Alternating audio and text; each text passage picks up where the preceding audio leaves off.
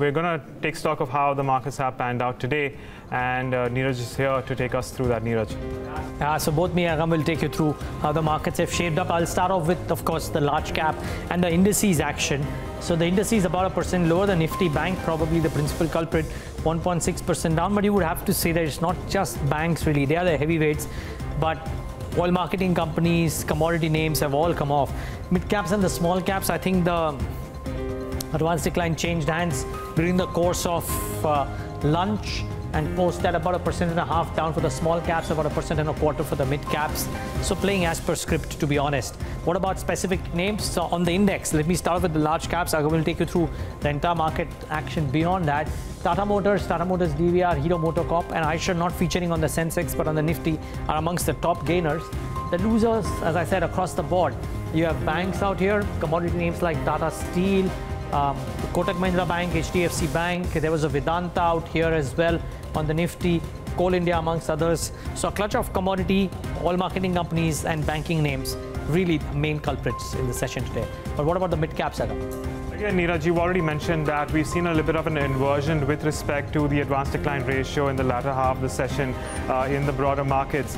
And in the broader markets, for now, there have been more losers in comparison to uh, gainers. I do want to start off with something like an HEG uh, because, uh, you know, we've seen a lot of weakness, especially after we've seen some reports coming in that in China, uh, at least a certain grade of graphite, uh, you know, that's where we've seen an erosion of prices. Of course, we also spoke to the management of HEG, and they suggest that uh, China is not a competitor and the grades are completely different.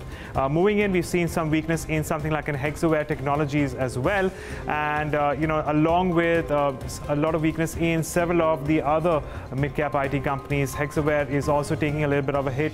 Uh, do remember, Hexaware uh, did see a lot of gains yesterday, and this is largely on the back of you know longs building up in, in the, the derivative space. Kwality, on the other hand, is, uh, well, it's made an up move. It's locked in an upper circuit for now. And this is after, well, a turbulent last few days. Uh, this is, of course, after the management uh, did come up and clarify that it was one broker uh, that had fraudulently sold shares and has uh, now been absconding. Uh, of course, Reliance Power is the other stock which is doing very well in today's job trade and also one of the top gainers on the Nifty 500. so it's turning out to be a, a reasonably good day for uh, the Anil Ambani uh, stocks. And finally, let's take up HCC. And uh, you know that again really hasn't done too well in today's job trade.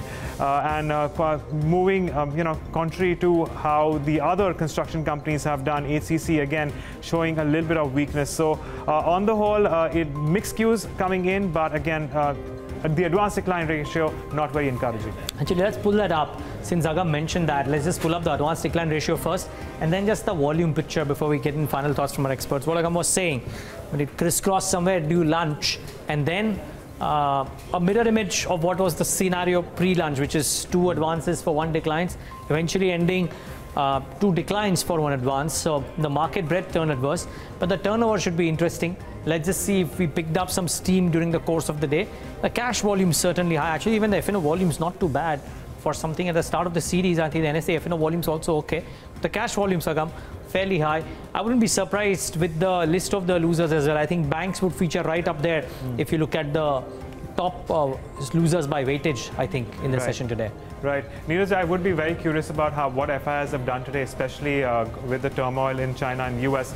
Uh, that said, of course, uh, as you guys can see, uh, we have seen a decline of around 100 points on the Nifty on account of that tension in the global markets. Uh, what's, you know, well, positives, we're seeing a little bit of gain uh, in something like Tata Motors and Eicher Motors, but otherwise nothing much to speak for.